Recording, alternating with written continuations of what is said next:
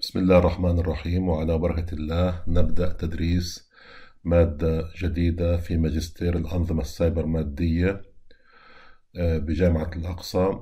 المادة هي مادة آه، ريادة الأعمال والابتكار Entrepreneurship and Innovation.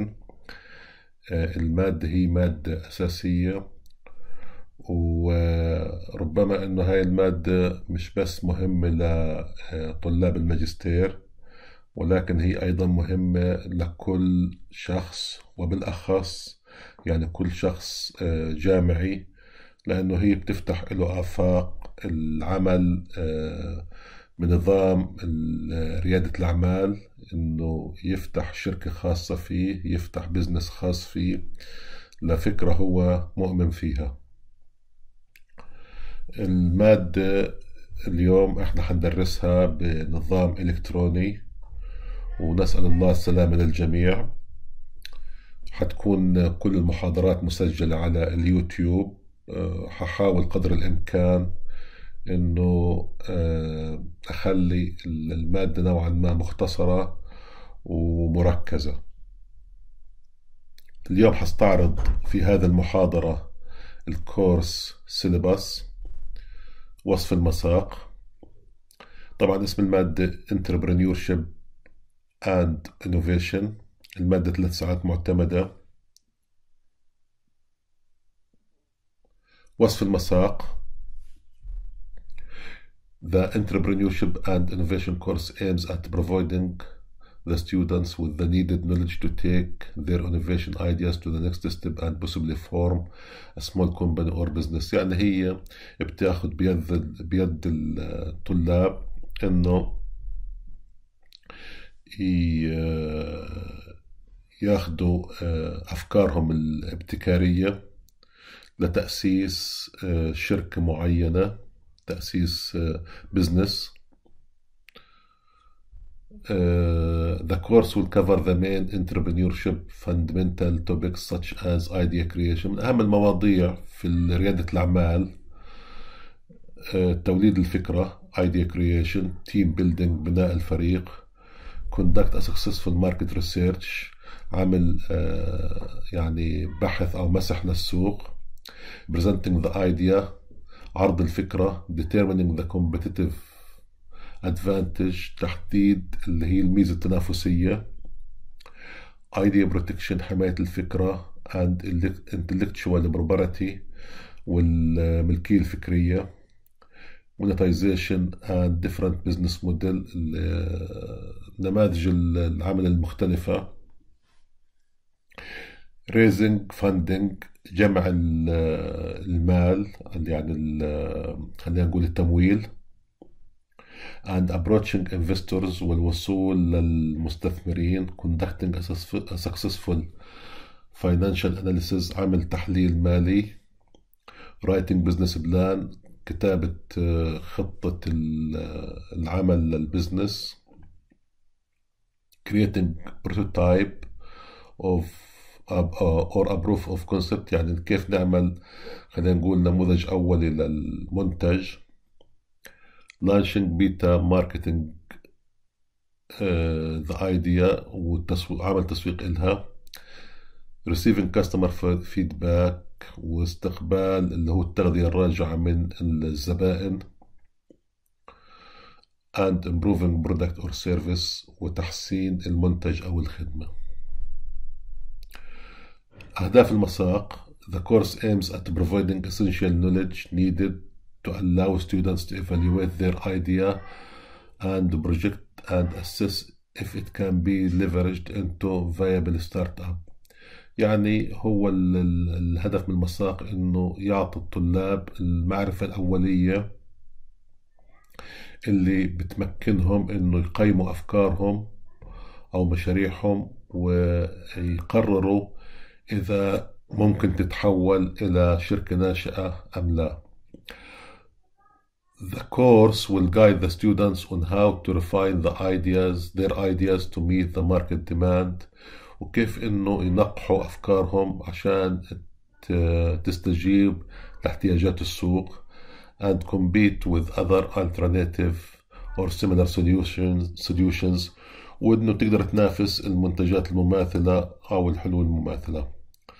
Further, it will burden students thinking beyond the technical aspects like marketing, business, financial aspects, which are usual not tackled during any technical course. وأيضا مش فقط المواضيع التقنية ولكن أيضا مواضيع إلها علاقة بال خلينا نقول بالمال وإدارة الأعمال البزنس آه، والتسويق والأمور المالية. بعد نهاية المساق on completing the course students should be able to learn how to think on ideas that have business marketing values and needs and solves a problem in efficient and distinguished way انه الطالب آه، بيقدر يفكر في افكار لبزنس والتسويق لها وحل مشاكل أو مسائل بطريقة كفؤة ومميزة define the target market تعريف السوق المستهدف competitors المنافسين competitive advantage الميزة التنافسية and learn how to conduct market research حكينا عن الأمر هذا learn how to build successful team كيف تبني فريق ناجح و and identify needed resources وتحدد المصادر المطلوبة learn the different business models that can be used to monetize the proposed idea, know how to market business and reach customers, learn different methodologies and mechanisms to finance the proposed startup and company يعني هذه كلها عرضناها سابقا في الوصف how to write a successful, business plan how to write marketing plan كل هذه الأمور عرضناها وحكينا عنها يعني في في الوصف هنا حولناها لأهداف طبعا. المواضيع الرئيسية اللي حنتناولها هي مجموعة من المحاضرات. الموضوع الأول Introduction to Entrepreneurship التعرف على ريادة الأعمال Recognizing Opportunities and Generating Ideas التعرف أو استكشاف الفرص وتوليد الأفكار. Feasibility analysis تحليل جدوى writing a business plan كتابة خطة عمل industry and competitor analysis competitors analysis تحليل السوق وال أو الصناعة والمنافسين developing an effective business plan model بناء business plan model getting financing or funding الحصول على التمويل marketing issue قضايا تسويق و digital marketing التسويق الرقمي.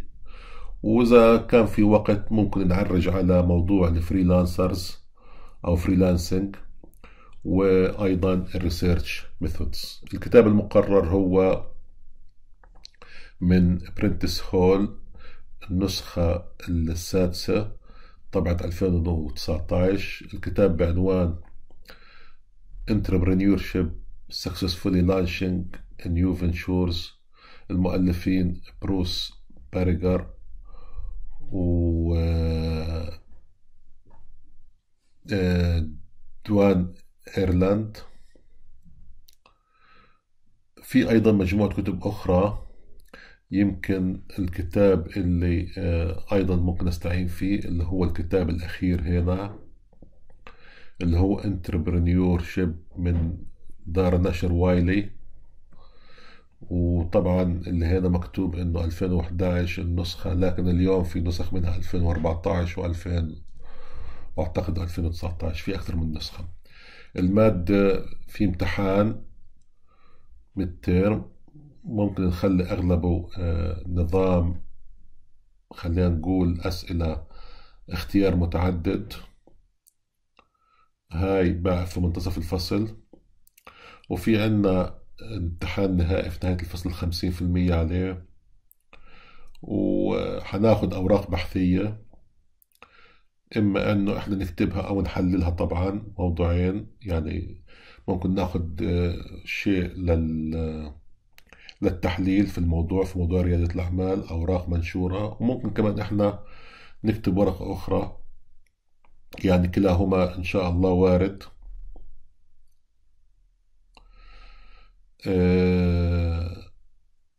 التقييم عشرين في المية عليها وأيضا عشرة في المية على العرض.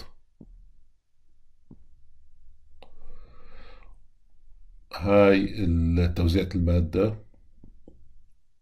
المادة طبعا حنستعين في الكتاب اللي ذكرته اللي هو من دار نشر برنتس هول موجودة الفصول هاي اللي هي ال introduction اللي حنغطيه في أسبوع market needs في أسبوعين building team team في أسبوعين business model أسبوعين